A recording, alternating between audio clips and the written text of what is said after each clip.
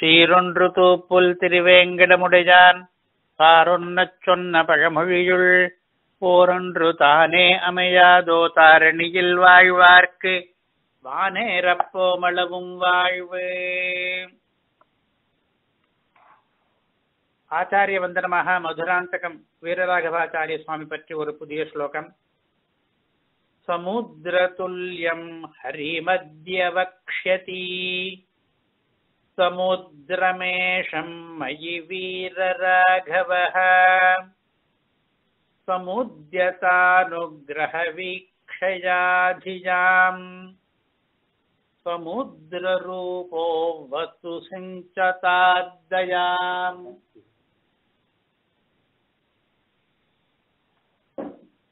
இன்று அடியேன் பகவான் ஹரியை சமுத்திரத்துக்கு நிகராக வர்ணிக்கப் போகிறேன் இதனாலே என் மீது மகிழ்ச்சியோடு மதுராந்தகம் வீரராகவாச்சாரிய சுவாமி அனுகிரகம் ததும்புகிற கட்டாட்சத்தாலே அவது காப்பாற்றட்டும். அவரே ஒரு சமுத்திரம் தியாம் சமுத்திர ரூபக அறிவினுடைய சமுத்திரமான அவர் தயையை தெளித்து என்னை நினைக்கட்டும். இந்த ஸ்லோகத்திலே ஒவ்வொரு பாதமும் சமுத் என்று ஆரம்பிப்பதாலே சொல்லணி பாத ஆதி அனுப்பிராகம். பெருமாள் சமுத்திரம் போல இந்த ஆச்சாரியரும் அறிவினுடைய சமுத்திரம் அடியேனும் சமுத் ஆக வர்ணிக்கிறேன். அவருடைய அனுகிரகமும் சமுத்தியதம் என்று நாளையும்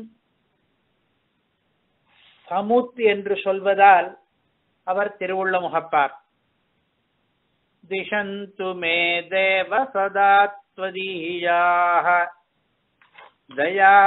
दयातरङ्गानुचराः कटाक्षाः श्रोत्रेषु पुंसाममृतम् क्षरन्तीम् सरस्वतीम् संश्रितकामधेनुम् காதுகளிலே அமுது பொழி காவியத்து பேச்சுதனை காமம் எனும் தேனுவென காட்டட்டும் ஹயக்ரீவர். அமுத ஆழியாய் நிற்றி என்று இதற்கு முன் வரியில் முடிந்தது. இப்பொழுது பார்க்கடல் தன்னில் பன்மணி அன்ன என்கிற வரி. அது இன்றைய உபன்யாசத்தின் தலைப்பு. அமிர்த சமுத்திரம் என்றும் க்ஷீர சமுத்திரம் என்றும் இரண்டு பதங்களாலே பகவானை கூறுகிறார். இரண்டும் ஒரே சமுத்திரமா வெவ்வேறா என்று கேட்டால் இரண்டு வித கருத்துகளும் உண்டு. அமிர்த சமுத்திரம் என்று சொல்லும் பொழுது அமிர்தத்துக்கான சமுத்திரம் என்றும் பால் சமுத்திரம் என்று சொல்லும் பொழுது பால் மயமான சமுத்திரம் என்றும் வெவ்வேறு விதமாக விக்கிரக வாக்கியங்கள் சொல்லி இரண்டு சமுத்திரங்களும் ஒன்றே என்று சில வியாக்கியானங்களில் காண்கிறோம். பார்க்கடலிலேதான் அமுதம் தோன்றியது. ஆகையால் அதுவே அமிர்தத்துக்கான சமுத்திரம். இது சிலர் கருத்து. வேறு சிலர் அமிர்தமயமான சமுத்திரம் தான் அமிர்த சமுத்திரம் அது பால் சமுத்திரம் அன்று ஹயக்ரீவ சுதா சிந்து என்றும் ஸ்வதீக்ஷண சுதா சிந்து என்றும் பல இடங்களிலே பேசப்படுகிற அமுத கடல் என்பது வேறு என்கிறார்கள். ஏழு சமுத்திரங்களை கணக்கிடும் போது விஷ்ணு புராணத்திலே இக்ஷு சமுத்திரம் சர்பிஸ் சமுத்திரம் என்ற வரிசையிலே க்ஷீர சமுத்திரம் இருக்கிறதே தவிர அமிர்த சமுத்திரம் என்று ஒன்று தனியாக கிடையாதே என்று கேட்டால் அமிர்தமயமான சமுத்திரத்தை கற்பனை பண்ணி கொண்டு அதுபோல பகவான் என்று இது அபூதோபமை என்கிறார்கள்.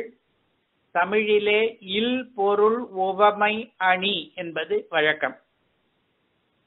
அது இருக்கட்டும். பெருமாளை அமிர்த சமுத்திரமாகவோ பால் சமுத்திரமாகவோ எத்தனையோ கவிகள் வர்ணிக்கிறார்களே அவர்களுக்கு எந்தெந்த ஒப்புமைகளிலே நோக்கு?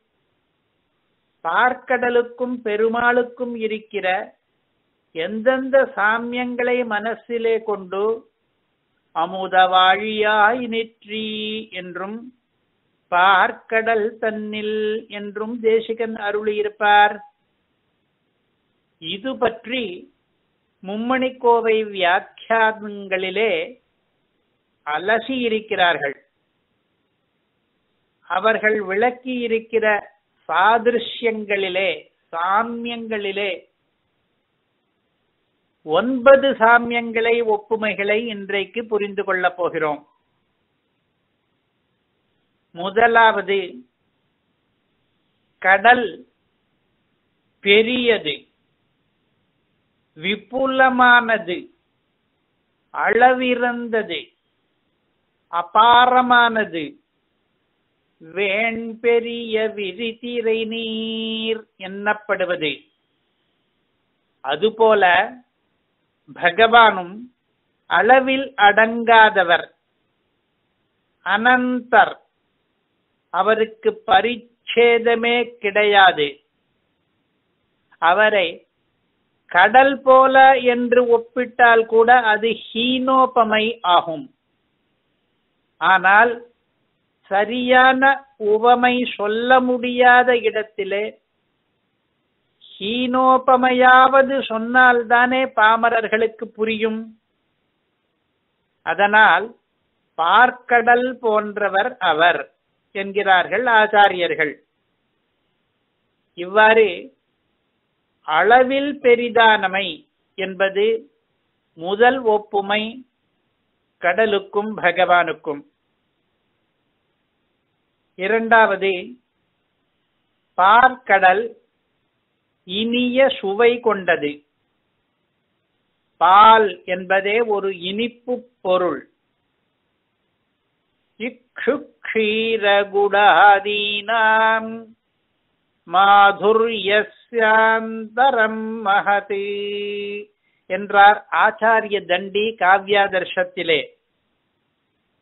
இந்த ஸ்லோகத்திலே பால் என்பதை கரும்புக்கும் வெள்ளத்துக்கும் நடுவில் கூறியிருக்கிறார் மதுர பொருள்களை பட்டியலிடும் போது இதே போல பால் போல பகவானும் போக்யன். சுவையன் திருவின் மணாளன் என்கிறது தமிழ் வேதம். ரசோ வைசக என்கிறது வடமொழி வேதம். இப்படி மதுரமானவன். பயில இனிய பகற்கல் சேர்ந்த பரமன் என்ற திருவாய்மொழி வரியிலே இனிய என்பதை பார்க்கடலிலும் அன்வயிக்கலாம் பரமனிலும் அன்வயிக்கலாம். இனிய பார்க்கடலில் சேர்ந்தவன் இனிய பரமன். அவனுக்கு எல்லாமே மதுரம். அதரம் மதுரம் வதனம் மதுரம் என்று மதுராஷ்டகத்திலே சொன்னபடி. இவ்வாறாக இனிமை என்பதும் பார்க்கடலுக்கும் பகவானுக்கும் ஆன ஒப்புமை. இது நமது பட்டியலிலே இரண்டாவது ஒப்புமை. மூன்றாவது பால் என்பது புஷ்டிகரம். நமக்கு மிகவும் உபகாரியான உணவுப் பொருள். ஆரோக்கியம் ஏற்படுகிறது பாலினாலே. அதுபோலே பகவானும் நமக்கு நிறைய உதவிகள் பண்ணுபவர். அந்தமிலா உதவிகளை அளப்பார் ஆரே என்கிறார் சுவாமி தேசிகன். உபகார சங்கிரகம் என்னும் ரகசிய கிரந்தத்திலே. இதனாலே உதவுதல் என்பது பார்க்கடலுக்கும் பகவானுக்கும் உள்ள மூன்றாவது முக்கிய ஒப்புமை. நாலாவது கடல் ஆழமானது. உள்ளுக்குள்ளே என்னென்ன இருக்குமோ என்பது தெரியாததாலே எவராலும் முழுமையாக அறிய முடியாதது. பகவானும் அப்படியே அவனை முழுதும் உணர்ந்தவர்கள் எவரும் கிடையாது. அவிஜ்ஞதம் விஜானதாம். இவ்வாறாக ஆழம் அறியலாகாமை என்பது நாலாவது ஒப்புமை. ஐந்தாவது கடலிலே குளிப்பது நல்லது. பாபமும் தீரும். எத்தனையோ பாவங்களுக்கு பிராயஷ்சித்தமாக கழுவாயாக சமுத்திர ஸ்நானம் விதிக்கப்பட்டிருக்கிறது. பகவானும் அமிழ்ந்து குளிக்கத்தக்கவன். அவனை தியானம் பண்ணுவதுதான் அவனில் குளிப்பது என்பது. அப்படி பகவானை தியானித்தால் பாபங்கள் எல்லாம் சாந்தமாகும். ஆகையாலே பரம்பொருளிலே குளிப்பதை பற்றி கவிகள் அடிக்கடி பேசியதுண்டு. சுவாமி தேசிகனே கூட சங்கல்ப சூரியோதயத்திலே தயா சதகத்திலே சரணாகதி தீபிகையிலே என்று பல இடங்களிலே பெருமாளை சமுத்திரமாக தடாகமாக நதியாக வர்ணித்து அதிலே நாம் எல்லாம் குளிக்க வேண்டும் என்று சொல்லுகிறார். இவ்வாறு அமிழத்தக்கமை அவகாகிக்க தகுந்தமை என்பது ஐந்தாவது ஒப்புமை. ஆறாவதாக கடல் குளிர்ந்தது. கோடை வெயிலிலும் கூட சமுத்திர ஜலம் குளிர்ந்தே இருக்கும். பகவானும் கருணையாலே குளிர்ந்தவன். அவனுடைய கட்டாட்சம் அபாங்கம் குளிர்ந்தது. இவ்வாறு தன்மை என்பது ஆறாவது ஒப்புமை. ஏழாவதாக பார்க்கடல் வள்ளலானது. மகோதாரம். சர்வார்த்ததம் என்பார் நாகமுனி அதை. தேவர்களுக்கும் அசுரர்களுக்கும் விஷ்ணுவுக்கும் சிவனுக்கும் வெவ்வேறு புது வஸ்துகளை தானம் பண்ணியது. தன்னை தேவாசுரர்கள் கடந்த போது மதனம் பண்ணிய பொழுது. பெருமாளும் பால் சமுத்திரம் போலே வதான்யர் மகா உதாரர். இவ்வாறு வன்மை என்பது ஏழாவது ஒப்புமையாகிறது அடுத்ததாக கடலிலே முத்து பவழம் முதலிய ஏராளமான ரத்தனங்கள் உற்பத்தியாகும். கடலுக்கு ரத்னாகரம் என்று பெயரே ஏற்பட்டுவிட்டது. பகவானிடம் கூட நிறைய ரத்னங்கள் அணிகலனாக இருப்பது மட்டுமின்றி அவருடைய நற்பண்புகள் ரத்னங்கள் போல இருப்பதாக இந்த வரியிலேயே பேசுகிறார். பன்மணியன்ன சீர்கணம் என்று. இது எட்டாவது ஒப்புமை. கடைசியாக ஒன்பதாவது. கடல் அழகானது. பார்க்க பார்க்க திகட்டாதது. இயற்கை வனப்புகளிலே ஒன்றானது. அதுபோல பகவானும் அதி சுந்தரன் ரமணீயன். இது ஒன்பதாவது ஒப்புமை. இந்த ஒன்பது ஒப்புமைகளையும் இவ்வாறு சுருக்கி நினைவிலே வைத்துக் கொள்ளலாம்.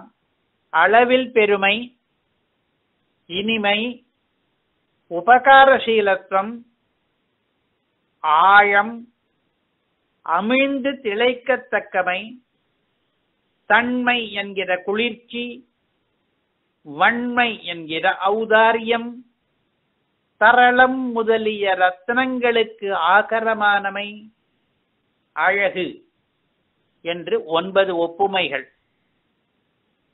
இன்னும் கூட இருக்கக்கூடும். இப்போது நம்முடைய அலசல் தொடர்கிறது. இந்த ஒன்பதிலும் இது போல விசார குசலர்கள் சொல்லக்கூடிய இன்னும் சில ஒப்புமைகளிலும் எவ்வவற்றை இந்த மும்மணி கோவை வரியிலே நாம் எடுத்துக்கொள்ள வேண்டும் என்று கேள்வி. எவ்வவற்றை ஆழ்வாராச்சாரியர்கள் அடிக்கடி ஆதரித்து காட்டியிருக்கிறார்களோ அந்த ஒப்புமைகளை மட்டும் ஏற்றுக்கொண்டால் போதும் என்கிற எண்ணத்துடனே நாம் ஆராய ஆரம்பிக்கிறோம். முதலாவது அளவில் பெரிதானமை. இந்த மும்மணி கோவையிலே அடுத்த வரியிலே ஷீர்கணம் பற்றி பேச்சிருக்கிறது. ஷீர் என்றால் குணம். ஷீர்கணம் என்றால் குணகணம். குணங்களின் கூட்டம். அதற்கு இருப்பிடமானவன் பகவான் என்று சொல்லும் இடத்திலே அளவில் பெரியவன் என்பதை இங்கே சொல்ல வேண்டுமா என்று வினா. குணநாமா கரோ மகான் என்ற வசனத்தை எடுத்து காட்டுகிறார் வியாக்கியாதா. பெரிய உறைவிடம் நல்ல பண்புகளுக்கு. மகான் என்று பதம். ஆகையாலே சமுத்திரத்துக்கும் பகவான இருக்கும் சாமியத்திலே மகத்துவம் என்பதை முதலாவதாக கொள்ள வேண்டும். இன்னும் ஒன்று பெரிய திருமொழி திருமங்கை மன்னனுடைய திவ்ய பிரபந்தத்திலே ஒரு பதிகம் இவ்வாறு ஆரம்பிக்கிறது. பெரும் புறக்கடலை அடலேற்றினை பெண்ணை ஆணை பெரும் புறக்கடலை எண்ணில் முனிவர்க்கருள் தரும் தவத்தை முத்தின் திரள் கோவையை. என்று முதல் இரண்டு வரிகள். இதிலே நாம் நாலு கருத்துகள் இந்த இடத்துக்கு பொருந்துவதை கவனிக்கிறோம். ஒன்று பகவானை கடல் என்கிறார். பெரும் புறக்கடலை. அந்த கடல் பெரிதாக பறந்து இருப்பதை சாமியத்துக்கு ஹேதுவாக சொல்லுகிறார். ஏன் பகவானை நாம் கடல் என்கிறோம் என்றால் அது பெரும் புறமாக இருக்கிறது. அதனாலே பகவானுக்கு சமமாக வருகிறது. பிறகு முத்தின் திரள் கோவையை என்கிறார். கடலிலே திரளாக முத்துகள் இருப்பதை பேசி பகவானிடமும் முத்து முத்துகளாக இருக்கின்றன என்கிறார். மும்மணி கோவையிலே பன்மணியன்ன சீர்கணம் என்பதை இங்கேயும் ஒட்ட வைத்துக் கொள்ளலாம். அவருடைய கல்யாண குணங்கள் முத்துகளின் திரள் போல இருக்கின்றன என்று. நாலாவதாக இந்த பெரிய திருமொழி பாசுரத்திலே எண்ணில் என்று பதமிடுகிறார் திருமங்கை ஆழ்வார். இதற்கு ரெண்டர்த்தங்கள்.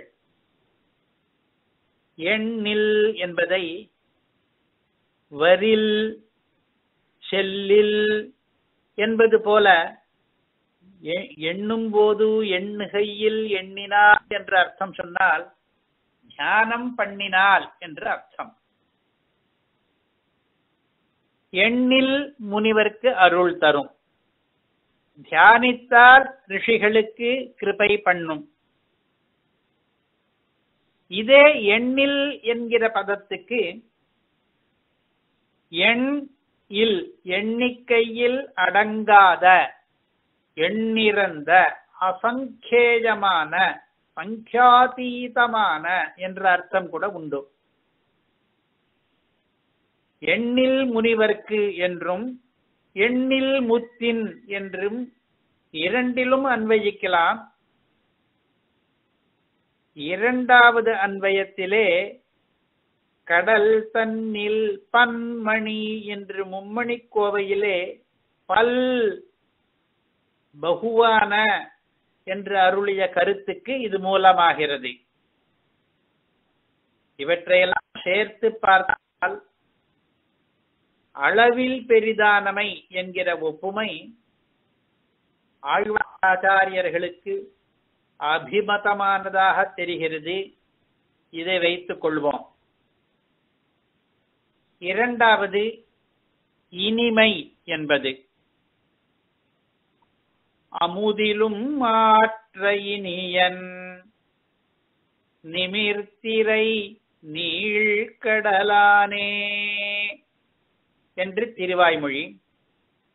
அதிலே நிமிர்திரை நீழ்கடல் என்பதாலே ஏற்கனவே முதலில் சொன்ன சாதிருஷ்யம் நீண்டது பெரிதானது அதிக அளவு கொண்டது என்பது அதற்கு முன்வரியிலே அமுதிலும் ஆற்ற இனியன் என்று சொன்னதனாலே நாம் இப்பொழுது சொல்லிக் கொண்டிருக்கும் இனிமை என்கிற ஒப்புமை அமுதுக்கு இனிமை அதிகம் என்பது சர்வ சம்மதம் அந்த அமுது போல இனிமையானவன் அல் என்றோ அமுதை காட்டிலும் இனிமையானவன் என்றோ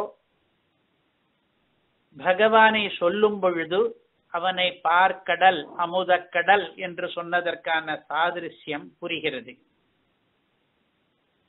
அமுதக்கடலாக பெருமாளை வர்ணிக்கும் போது இனிமை என்பதை முக்கிய ஒப்புமையாக கொள்ள வேண்டும் என்று இந்த திருவாய்மொழி வரி காட்டுகிறது. இன்னும் ஒரு பாசுரம் அதே திருவாய்மொழியிலே. கரந்த பால் நெய்யே நெய்யினின் சுவையே கடலினுள் அமுதமே அமுதில் பிறந்த பிறந்தவின் சுவையே சுவையது பஜனே பின்னை தோள் மணர்ந்த பேராயா என்பது இதிலே முதலிலே பாலை சொல்லுகிறார். பாலுக்கு ஒரு அடைமொழி இடுகிறார் கறந்த பால் என்று புதிதாக கறந்த பாலுக்கு இனிமை அதிகம். அந்த பாலாக பகவானை வர்ணிக்கிறார் அந்த பாலில் இருக்கும் சாரமான நெய்யாக வர்ணிக்கிறார் அந்த நெய்யிலே இருக்கிற இன் சுவை மாதுரியமாக வர்ணிக்கிறார் கடலுக்குள்ளே இருக்கிற அமிர்தமாக வர்ணிக்கிறார் அந்த அமிர்தத்திலே பிறந்த மாதுரியமாக வர்ணிக்கிறார் அந்த மாதுரியத்தின் பலனாக வர்ணிக்கிறார் பகவானை. கறந்த பால் நெய்யே நெய்யினின் சுவையே கடலினுள் அமுதமே அமுதில் பிறந்தவின் சுவையே. சுவையது பயனே பின்னை தோள் மணர்ந்த பேராயா என்று. மும்மணி கோவையிலே அமுத வாழியாய் நிற்றி பார்க்கடல் தன்னில் என்று அமுதம் பால் இரண்டையும் உவமையாக கூறியது போலே திருவாய்மொழி பால் நெய் அமுது என்று மூன்று விதமாக பகவானை ரூபணம் பண்ணி சுவை என்ற பதத்தை மூன்று தடவை கையாண்டு மூன்று தடவை எங்கே? நெய்யினின் சுவையே என்றும் அமுதில் பிறந்த இன் சுவையே என்றும் சுவையது பயனே என்றும் மூன்று தடவை சொல்லி இனிமை என்கிற ஒப்புமையை வலியுறுத்தி இருக்கிறார் நம்மாழ்வார். நெய்யினின் சுவை என்ற இடத்திலே இன் இன் என்று பக்கத்திலே பக்கத்திலே ஒரே பதம். இரண்டு தடவை வெவ்வேறு அர்த்தத்திலே வந்த வேடிக்கையும் இருக்கிறது இதிலே. நெய்யுடைய இனிமையான சுவை. முதல் இன் ஆறாம் வேற்றுமை உருபு. இரண்டாவது இன் மாதுரியத்தை கூறுகிற பதம். நெய்யின் இன் சுவை நெய்யுடைய மதுரமான ரசம் என்று அர்த்தம். இந்த இன் சுவையை மனசில் கொண்டுதான் நலங்கடல் அமுதமென்கோ என்று வேறோரிடத்திலும் ஆழ்வார் அருளுகிறார். பெருமாளுக்கு அமிர்தம் என்ற பெயர் வேத பிரசித்தமான பெயர். ஆகையாலே இனிமை என்ற ஒப்புமை பார்க்கடலுக்கும் பகவானுக்கும் இருப்பதை இந்த இடத்திலே ஏற்றுக்கொண்டாக வேண்டும். மூன்றாவதாக உபகாரித்வம் உதவுவது என்கிற ஒப்புமை. உதவுகிறதே இயல்பு. இதை மும்மணிக்கோவை வியாக்கியாதா ஒருவர் இந்த இடத்திலே முக்கியமான சாதிருஷ்யமாக கருதுகிறார். அவர் எழுதுகிற பங்கியை வாசித்து கேட்போம். ஆரோக்கியார்த்தம் க்ஷீரசேவை பண்ண பித்தம் தன்னடைவே கழிஜுமா போலே? போக புத்தியா பிரவர்த்தித்தும் மோக்ஷ பரியந்தமாய் தலை கட்டித்தர கடவதும் ஆயிற்றோர் அலையற்ற ஆரமுதக் கடல் அயத்தனமாக சர்வாவகாஹ்யமாம்படி ஓஷதாத்ரி சமீபத்தில் பிரகாசிக்கிறபடி பாரீர் என்று அர்த்தம் எழுதுகிறார். பார்க்கடல் தன்னில் என்பதற்கு. இவர் சொல்லுகிற வாக்கியத்தினுடைய அர்த்தம் பாலை பருகுபவன் புஷ்டி முதலிய காரணாந்தரத்துக்காக பருகினாலும் கூட சித்தசாந்தி என்கிற கருதாத பயனையும் அவன் வேண்டாத பலத்தையும் அந்த பால் கொடுக்கும். எந்த பலத்தை உத்தேசித்து குடித்தோமோ அந்த பலன் மட்டும்தான் கிடைக்கும் என்கிற நிர்பந்தம் இல்லை. அதே போலத்தான் பகவானும். நாம் அவனை இம்மை பஜனுக்காக ஆசிரயித்தாலும் நாம் மோட்சத்தை கேட்காவிட்டாலும் நாளடைவிலே நமக்கும் மோட்ச அபிலாஷையை உண்டாக்கி பலனையும் தரக்கூடியவர். இதே போல நாம் மோட்சத்தை மட்டும் கேட்டாலும் இம்மை பயன்களை அவனிடம் பிரார்த்திக்காவிட்டாலும் சரீர ஆரோக்கியம் ஐஸ்வர்யம் முதலிய ஆனுஷங்கிக பலன்களை கேட்காமலே கொடுக்கக்கூடியவர். பாலுக்கும் பகவானுக்கும் இது ஒப்புமை. கேட்ட பலனை மட்டுமின்றி கேட்காத பலன்களையும் தரும் என்பது. இந்த பங்கியிலே இன்னும் ஒரு விஷயம் சொல்லுகிறார். பகவானை அமுத கடல் என்று உருவகப்படுத்தும் போது ஒரு வேறுபாட்டையும் கவனிக்க வேண்டும் என்கிறார்.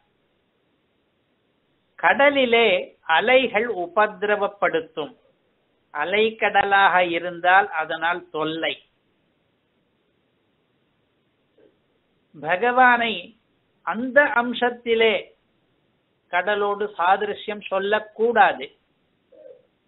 அலையற்ற ஆரமுத கடல் என்கிறார். அலை இல்லாததாக ஒரு கடலை கற்பனை பண்ணிக்கொண்டு அந்த கடல்தான் பகவான் என்று சொல்ல வேண்டுமா? பார்க்கடலே கூட கடலோர பகுதிகளிலேதான் அலைகள் நிறைய கொண்டிருக்கும். கடல் நடுவிலே போனால் அலைகள் இருக்காது. ஆகையாலே பார்க்கடல் போன்ற பெருமாள் என்று சொன்னதில் அலை இல்லாதது என்பதாலே பெரிய வேறுபாடு கிடையாது. உவமானம் பொருந்துகிறது. அவன் பகவான் நம்முடைய பெருமுயற்சி இல்லாமலே பிரயத்தனம் எதுவும் நாம் பண்ணாமலே கூட எல்லோரும் அமிழ்ந்து அனுபவிக்கலாம்படி. சேவார்த்திகள் அத்தனை பேரும் சேவித்து தியானிக்கலாம்படி. அவனாகவே நம் சமீபத்திலே ஔஷதகிரிக்கு கிட்டத்திலே ஐந்தை நகரிலே திருவேந்திபுரத்திலே விளங்குகிறான் பாருங்கள் என்று இந்த வியாக்கியான வரிகளுடைய அர்த்தம். இதிலே பாலுக்கும் பகவானுக்கும் கேட்காத உதவிகளையும் பண்ணும் பண்பு என்கிற சாதிருஷ்யமானது விளக்கப்பட்டிருக்கிறது. இது இவ்விடத்திய மும்மணிக்கோவை வியாக்கியானத்திலேயே இருப்பதாலே இதை உபேட்சிப்பதற்கில்லை. இதுவரை மூன்று ஒப்புமைகளை பார்த்தோம். அடுத்ததாக நாலாவது ஆழம் என்பது. சம்ஸ்கிருதத்திலே காம்பீரியம் என்ற பதத்துக்கு இரண்டு அர்த்தங்கள். ஆழம் என்பது ஒன்று மிடுக்கு என்பது இன்னொன்று. உள்கருத்து அறியலாகாமை. இது இரண்டுக்கும் பொது. ஆழமான சமுத்திரத்திலேயும் உள்ளே இருக்கிற வஸ்துக்கள் நமக்கு எளிதிலே புரியாமல் இருக்கும். மிடுக்கினாலே மிளிர்கிற பகவானுக்கும் அவனை நாம் பூர்ணமாக புரிந்து கொள்வது என்பது சாத்தியமில்லை. சமுத்திர இவ காம்பீரியே தைரியேன ஹிமவானி என்று சங்கேப ராமாயணத்து வரி ராமன் சமுத்திரம் போலே காம்பீரியம் கொண்டவன் என்பது. பகவானுடைய கல்யாண குணங்களை அடுக்கும் பொழுது எம்பெருமானார் காம்பீரியத்தையும் பரிகணனம் பண்ணியிருக்கிறார் கத்தியத்ரயத்திலே. இதுவரை நாலு ஒப்புமைகளை ஆழ்வாராச்சாரியர்கள் சொல்லி இருப்பதை பார்த்தோம்.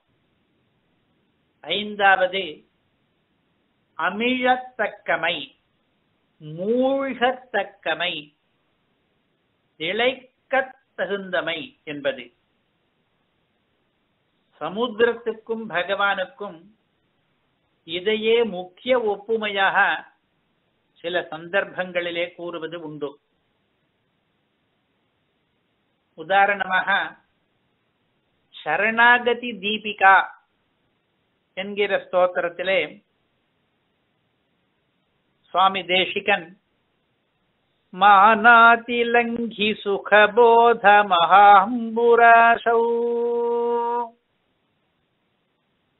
मग्नास्त्रिसीमरहिते भवतः स्वरूपे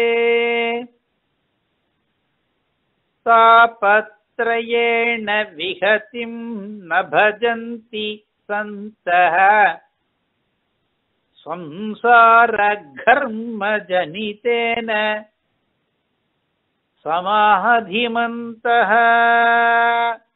என்கிற ஸ்லோகத்திலே பெருமாளை சமுத்திரமாகத்தான் வர்ணிக்கிறார் இந்த ஸ்லோகம் இங்கே மும்மணி கோவையுடன் அதிகமாக பொருத்தம் கொண்டிருக்கிறது இந்த ஸ்லோகத்திலே மான அதிலங்கி. மகா என்கிறார். மும்மணி கோவையிலே அந்தம் இல் என்கிறார். இங்கே மகாம்புராசி அங்கே அந்தமில் அமுதக்கட.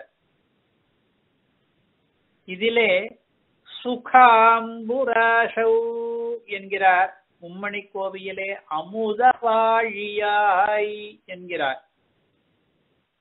இந்த சரணாகதி தீபிகை ஸ்லோகத்திலே போத என்கிறார். மும்மணி கோவிலே விளக்கி என்கிறார். இங்கே சரணாகதி தீபிகையிலே திரிசீமரஹிதே என்கிறார். மும்மணி கோவையிலே எல்லை இலை என்கிறார். இவ்வாறாக ஏராளமான கருத்துகள் இதற்கும் அதற்கும் பொருத்தமாக இருக்கிறது. முக்கிய கருத்து பகவான் சமுத்திரமானவர் என்பது.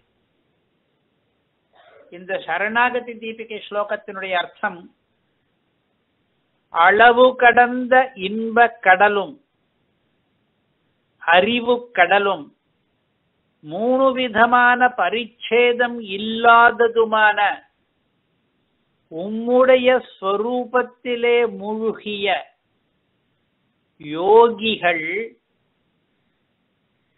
சம்சாரம் என்னும் கோடையாலே கர்மத்தாலே கிரீஷ்மத்தாலே உண்டான மூவகை தாபங்களாலே அடிபடுவதில்லை.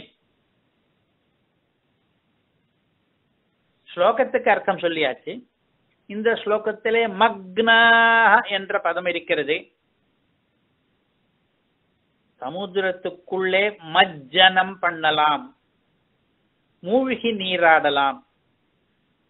இந்த ஸ்லோகத்திலே தாபத்ரய விஹதிம் ந பஜந்தி என்று சொன்னதாலே தாப சாந்தி ஏற்படுகிறது சமுத்திர ஸ்நானத்தாலே என்று. இந்த இரண்டும் அவகாகிப்பது என்பதும் தாபம் தீர்வது என்பதும் சமுத்திரத்துக்கும் பகவானுக்கும் முக்கியமான ஒப்புமைகள். திருவாய்மொழியிலே சுக வெள்ளம் விஷும்பிறந்து அறிவை மூழ்கச் சூழ்ந்து என்ற வரியிலே சுக வெள்ளம் என்றதாலே அமுத கடலை கூறி மூழ்க என்றதாலே அமிழ்வதை கூறினார். இதே அமுத வாழியும் அதில் அமிழ்வதுமே ஸ்பஷ்டமாக கத்தியத்ரயத்திலே மூன்றாவதான ஸ்ரீ வைகுண்ட கத்தியத்திலே இருக்கிறது. அங்கே கடைசி வாக்கியம் தியாத்வா அமிர்தசாகராந்தர்நிமக்ன சர்வாவயவ சுகமாசீத் என்பது. தியாத்வா நிமக்னஹா என்றார். பகவானிலே மூழ்குவது என்பது அவனை தியானித்து கொண்டே ஆழ்ந்து விடுவது. ஆழ்ந்து விடுபவர்கள் ஆழ்வார்கள். ஆழ்ந்து விடுவது என்பது தியானத்திலே மூழ்கி விடுவது. இந்த ஸ்ரீவைகுண்ட கத்திய வாக்கியத்திலே அமிர்தசாகரம் என்ற பதம் இருக்கிறது. மும்மணி கோவையிலே இதற்கு பரியாஜமாக அமுத கடல் என்ற பதம் இருக்கிறது இரண்டும் பகவானைத்தான் கூறுகின்றன.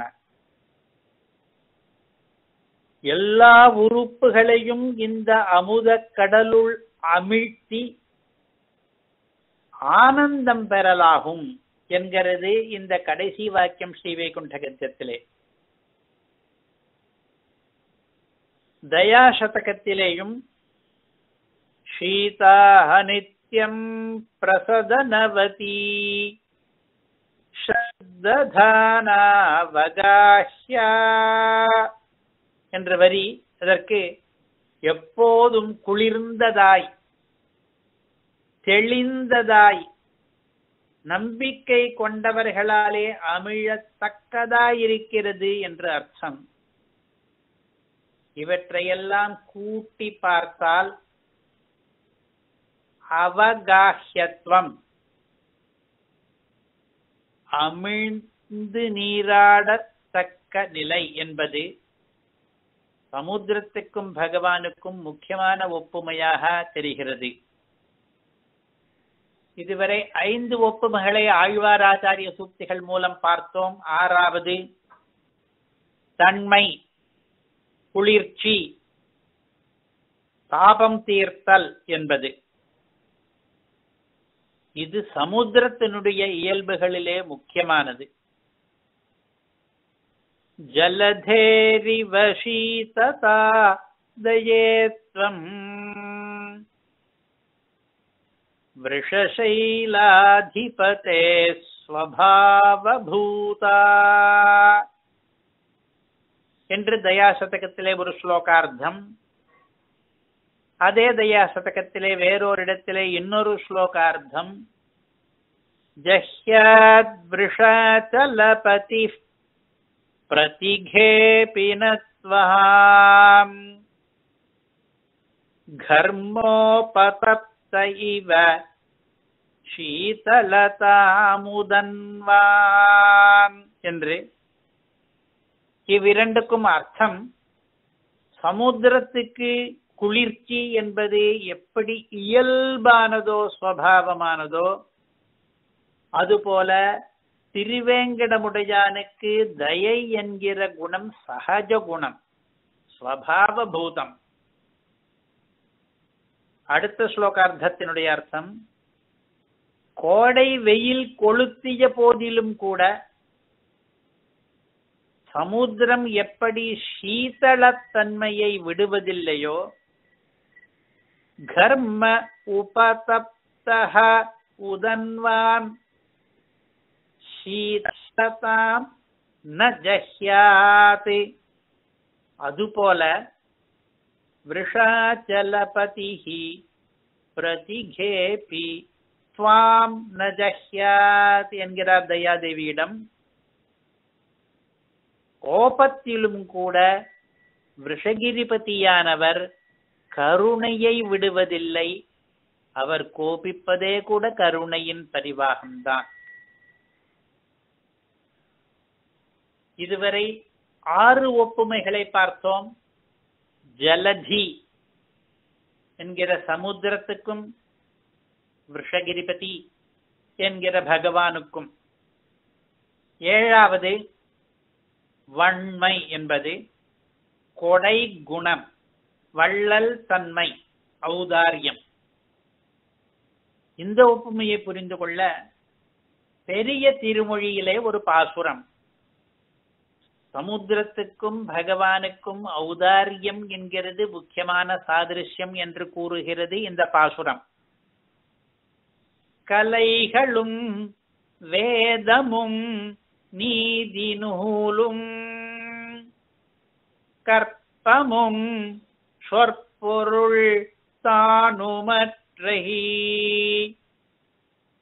நிலைகளும் வானவர்க்கும் பிறர்க்கும் நீர்மையினால் அருள் செய்து நீண்ட மலைகளும் மாமணியும் மலர்மேல் மங்கையும் சங்கமும் தங்குகின்ற அலைக்கடல் போன்றிவர் ஆர்கொல் என்ன?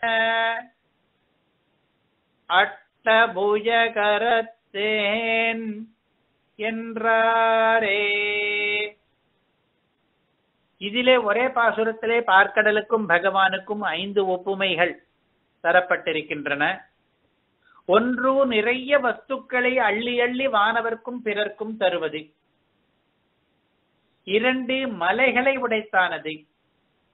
மூன்று உயர்ந்த மணிகளை கொண்டிருப்பது. நாலு லக்ஷ்மி தேவியை தன்னிடம் தங்க வைத்திருப்பது. ஐந்து சங்கு தங்குகிற இடமானது. இந்த ஐந்தையும் கொஞ்சம் விளக்கியாக வேண்டும்.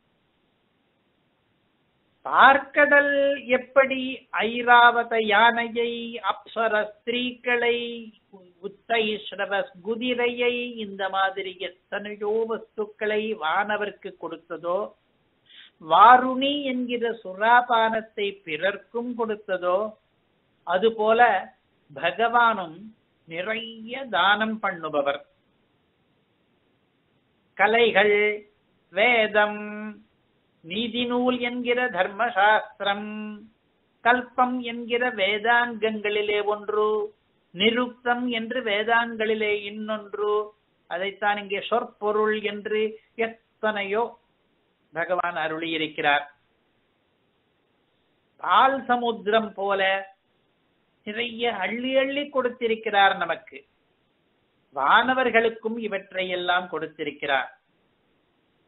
மேலும் திருப்பாவையிலே ஈரிரண்டு மால் வரை தோள் என்று ஆண்டாள் அருளி செய்தது போலே நீண்ட மலைகள் சமுத்திரத்துக்குள்ளே மட்டும்தான் இருக்கிறதா என்ன? இவருக்கும் தான் இருக்கிறது. பகவானுக்கும் நீண்ட மலைகள் ஒன்றில்லை இரண்டில்லை நாலு பெரிய மலைகள்.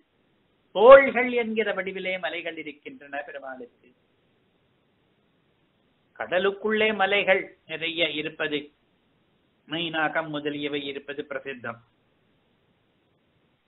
அடுத்ததாக கௌஸ்துபம் என்கிற மாமணி இவரிடம் இருக்கிறது வட்சத்திலே மலர்மகள் என்கிற மங்கையையும் மார்பிலே வைத்துக் கொண்டிருக்கிறார் இவர்.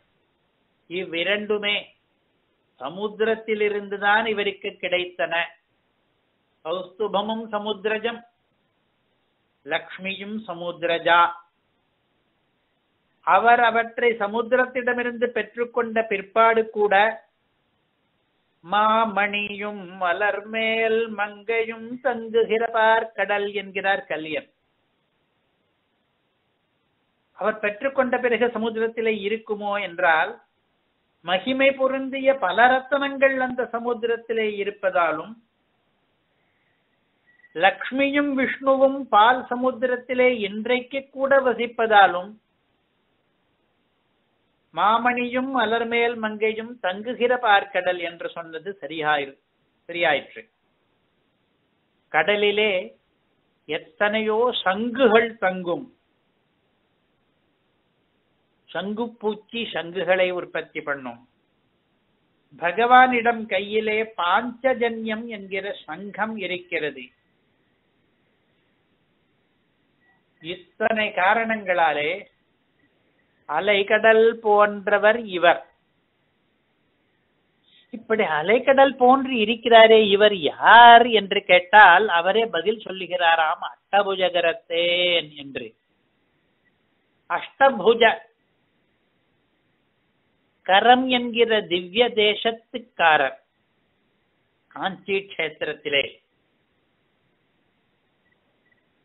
இந்த ஸ்லோகத்திலே சொன்ன ஐந்து ஒப்புமைகளிலே முதலாவதாக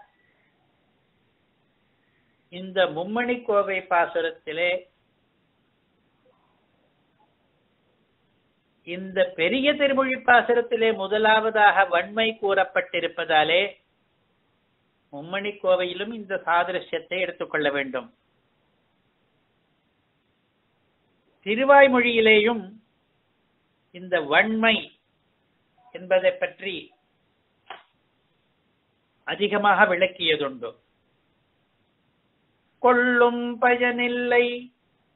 குப்பை கிளர்ந்தன்ன செல்வத்தை வள்ளல் புகழ்ந்து நும் வாய்மை இழக்கும் புலவீர்கள். சொன்னால் விரோதம் இது என்கிற திருவாய்மொழியிலே. கொள்ள குறைவிலம் வேண்டிற்றெல்லாம் தரும். கோதில் என் வள்ளல் மணிவண்ணன் தன்னை கவி சொல்ல வம்மினே. இதிலே மனிதர்களை பாடி செல்வம் சேர்க்கிறவர்களை இகழ்கிறார்.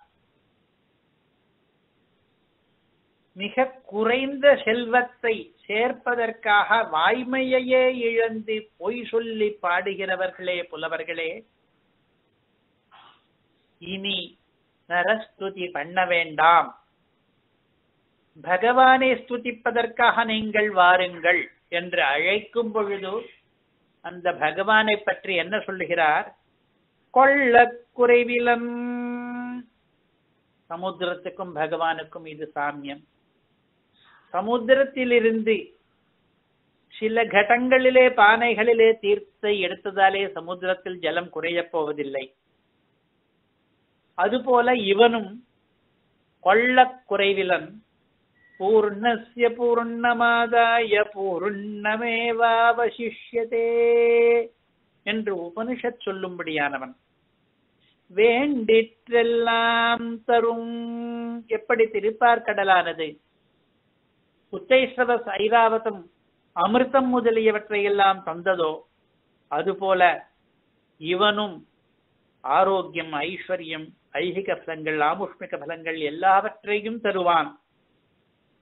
கோதில் குற்றம் எதுவும் இல்லாதவன் என் வள்ளல் மணிவண்ணன் தன்னை என்று பகவானை சமுத்திரம் போல சொல்லியிருக்கிறார் இதுவரை ஏழு ஒப்புமைகளை ஆழ்வார் ஆச்சாரிய சூக்திகளிலே புரிந்து கொண்டோம். எட்டாவது மணிகளுடைய இருப்பிடம் ரத்தன ஆகரம் என்பது. இதை பற்றி நாம் நிறைய பேசப்போவதில்லை பகவானை மணிவண்ணன் என்று சொல்வது மட்டுமின்றி மணிகளின் இருப்பிடம் என்று இந்த வரியிலே. பன்மணியன்ன சீர்க்கணம் சேர்ந்த என்கிறார். மணிகள் போல பெருமாளுடைய திருக்குணங்கள் அந்த குணங்களுக்கெல்லாம் குணானாமாகரோ மகான் என்று சொன்னபடி இருப்பிடமானவர் பகவான். குணங்களை மணிகளாக சொல்வது பற்றி எத்தனையோ கிரந்தங்களிலே ஸ்ரீ விஷ்ணு புராணத்திலே திரமிடோபனிஷத் தாத்பரிய ரத்னாவளியிலே நிறைய பார்க்க போகிறோம். இப்பொழுது கடைசியாக ஒன்பதாவது ஒப்புமை அழகு என்பதற்கு வருவோம். வாழியரோ இவர் வண்ணமெண்ணில் மா கடல் போன்றுளர் கையில் வெய்ய ஆழி ஒன்றேந்தி ஓர் சங்கு பற்றி அச்சோ ஒருவர் அழகியவா என்கிறது பெரிய திருமொழி. இவர் என்று சொன்னது பகவானை. வண்ணம் என்றால் நிறம் என்று அர்த்தம் இருப்பது போல ஸ்வபாவம் என்றும் அர்த்தம் உண்டு. இவர் வண்ணம் எண்ணில் மா கடல் போன்றுளர். பகவான் பெரிய சமுத்திரம் போல இருக்கிறார் தன்னுடைய சுபாவத்தாலே. கையிலே சங்கு சக்கரம் ஏந்தி அழகாக இருக்கிறார். அச்சோ ஒரு அழகியவா? அச்சோ என்று ஐயோ என்று ஆச்சரியப்படும்படியான அழகு. இந்த பாசுரத்திலே கடலுக்கும் பகவானுக்கும் அளவில் பெரிதாயிருப்பது அழகு மற்ற சுபாவங்கள் என்று மூன்று சாதிருஷ்யங்களை அருளியிருக்கிறார். இதுவரை கடலுக்கும் எம்பெருமானுக்கும் இருக்கிற ஒன்பது ஒப்புமைகளுக்கும் ஆழ்வார் ஆச்சாரிய சூக்திகள் இருப்பதை கேட்டோம். இருந்தாலும் இந்த ஒன்பது ஒப்புமைகளிலே எல்லாவற்றையும் இந்த வரியிலே விவட்சிக்க வேண்டியதில்லை. இந்த மும்மணிக்கோவை பிரபந்தத்திலே மற்ற வரிகளிலே எந்தெந்த குணங்களை பகவானுக்கு கூறியிருக்கிறாரோ அவற்றுள் எவ்வவை பார்க்கடலுக்கு ஒப்பானவையோ அவற்றை மட்டும் இங்கு ஸ்வீகரித்தால் போதும். பிரகரணத்துக்கு அவசியமான சாதிருஷ்யங்கள் மட்டும் போதும். இதற்காக இதுவரை நாம் கேட்ட ஒன்பதிலே அதாவது அளவிலே பெருமை இனிமை உதவுகிற சீலம் ஆழம் அவகாகிக்கத்தக்கமை குளிர்ச்சி வள்ளல் தன்மை ரத்தனங்களுக்கு இருப்பிடம் ஆனமை. அழகு என்கிற ஒன்பதிலே எவ்வவை மும்மணி கோவையிலே ஸ்பஷ்டமாகவோ சூச்சகமாகவோ சொல்லப்பட்டுள்ளன என்று இப்போது பார்த்து அதனால் கிடைக்கும் சாதிருஷ்யங்களை மட்டும் இப்போது ஏற்றுக்கொள்ளலாம்.